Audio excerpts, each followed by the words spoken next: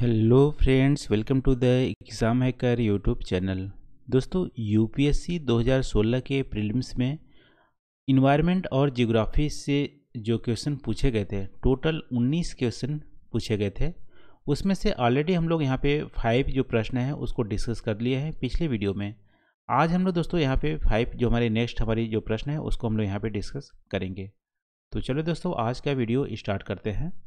तो आज का यहाँ पे पहला प्रश्न है what is what are the importance of the united convention to combat desertification यानी कि जो हमारी U N C C D united nation convention on combat desertification जो हमारी nineteen twenty nineteen ninety two में जो हमारी बना था, उसका क्या यहाँ पे इम्पोर्टेंस है?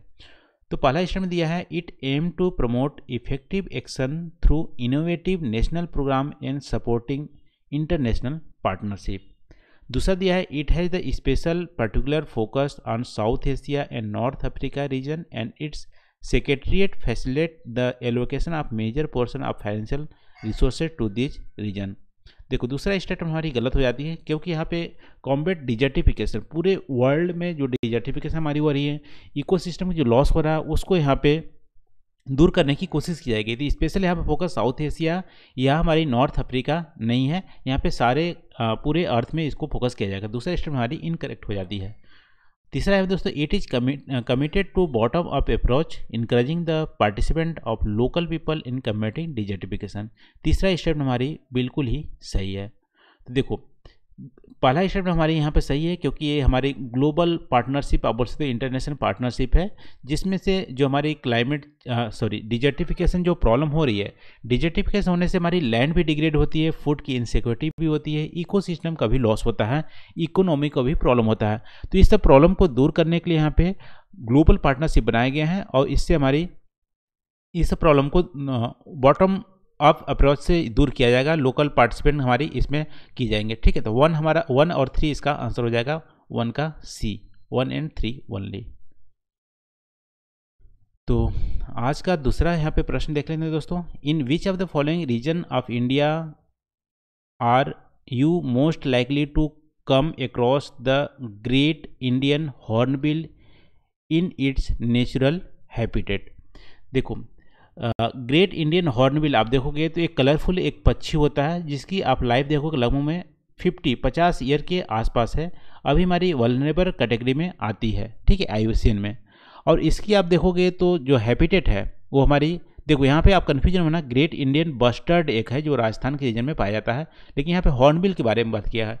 इसका नेचुरल जो हैबिटेट है इंडिया में आप देखोगे तो वेस्टर्न घाट इसके अलावा हिमालयन रीजन में, यानी कि आपको वेस्टर्न हिमालय में भी देखने बोलेंगे ईस्टर्न पूरा हिमालय या नॉर्थ ईस्टर्न स्टेट में। और बहुत सारे ट्राइबल पॉपुलेशन का कल्चर का पार्ट भी है हमारी हॉर्नबिल। इसके अलावा आप देखोगे साउथ ईस्ट एशियन जो कंट्रीज़ है, वहाँ पे भी आपको हॉर्नबिल, जो पक्षी देखने को मिलते हैं। तो यहाँ पे आपको डी यहाँ पे आंसर दिया गया तो वेस्टर्न घाट इसका नेचुरल हैबिटेट है। इसके अलावा इंडिया में आप देखोगे हिमालयन रीजन और पूरा नॉर्थ ईस्टर्न स्टेट में आपको पाया जाता है। ये हमारे दो का डी आंसर हो गया। आज का तीसरा क्वेश्चन दोस्तों यहाँ पे the F A O food agriculture organization जो आपको यूएन का एक पार्ट है, ठीक है, उसके बारे में दिया गया। तो F A O accord the status of globally important agriculture heritage system ठीक है GIAHS to traditional agriculture system what is the overall goal of this initiative ठीक है? तो उस समय दोस्तों एफएओ ने यहाँ पे जो फ़ूड सिक्योरिटी या आप बोल सकते हो कि बायोडाइवर्सिटी को फ़ूड से जोड़ते हुए इन्होंने यहाँ पे एग्रीकल्चर हेरिटेज जो सिस्टम है, उसको यहाँ पे आइडेंटिफाइड किया गया था।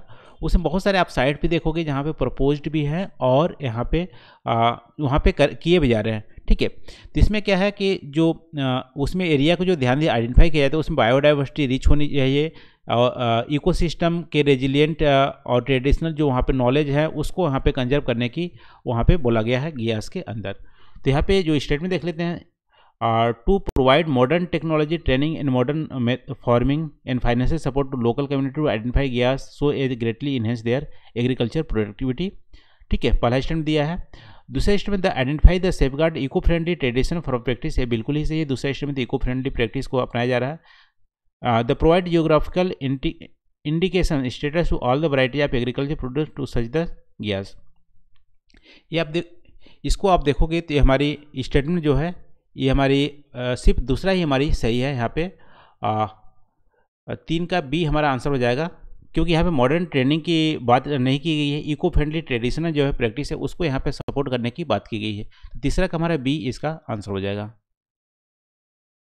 तो आज का चौथा क्वेश्चन दोस्तों which of the following is are tributary of Brahmaputra देखो ब्रह्मपुत्रा की ट्रिब्यूटरीज की बात करें तो आप देखोगे ये हमारी तिब्बत से ओरिजिन होती है और अरुणाचल प्रदेश में ये हमारी अरुणाचल प्रदेश से आती है।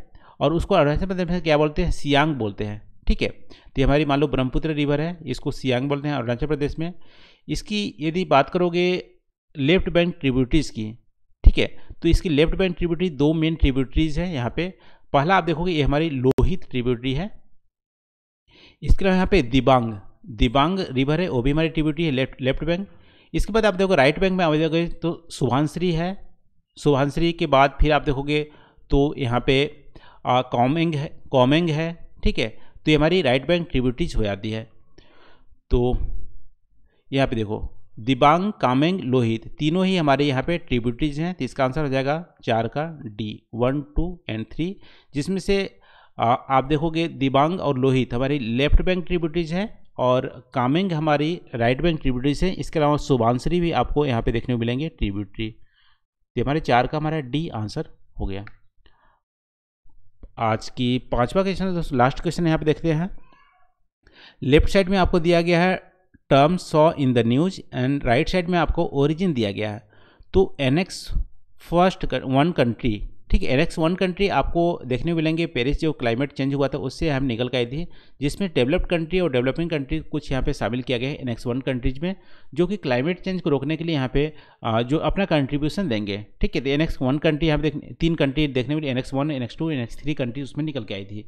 तो कार्टेजना प्रोटोकॉल से यहाँ पे इसका ओरिजिन नहीं है, क्योंकि कार्टेजना प्रोटोकॉल आप देखोगे तो किसकी बात की जाती है? बायोसेफ्टी की बात की जाती है कार्टेजना प्रोटोकॉल जो हमारे सीबीडी से ओरिजिन हुआ था। तो पहला स्टेट पहला स्टेट में हमारे इनकरेक्टली मैच्ड है। दूसरा यहाँ पर दिया है certified emission reduction Nagoya, Nagoya protocol देखो सर्टिफाइड इमिशन जो रिडक्शन है, ये भी हमारे क्योटो प्रोटोकॉल या हमारी जो पेरिस क्लाइमेट है, उससे रिलेटेड है। नागिया प्रोटोकॉल आपको यहाँ पे देखने मिलेंगे कि जो हमारी फेयर इक्विटेबल जो डिस्ट्रीब्यूशन होती है बायोडाइवर्सिटी के लिए रिलेटेड उससे देखने को मिलती है। ठीक है, दूसरा स्टेटमेंट भी हमारी गलत है। तीसरा दिया ग्रीन क्लीन डेवलपमेंट मैकेनिज्म ये हमारी क्योटो प्रोटोकॉल का आउटकम है क्लीन डेवलपमेंट मैकेनिज्म ठीक है? तो तीसरा हमारा यहाँ पे आ, सही हो जाता है क्योंकि क्लीन डेवलपमेंट मैकेनिज्म से क्या कहते हैं? सर्टिफाइड जो इमिशन होती है रिडक्शन उसकी की जाती है कि कितना किसको क्या रिड्यूस करना है। और आ, जो डेवलपमेंट की मैकेनिज्म होनी चाहिए वो हमारी प्रो क्लाइम क्लाइमेट चेंज से ग्रीन हाउस गैस ज़्यादा इमिशन ना करे ऐसी टेक्नोलॉजी हमारी होनी चाहिए।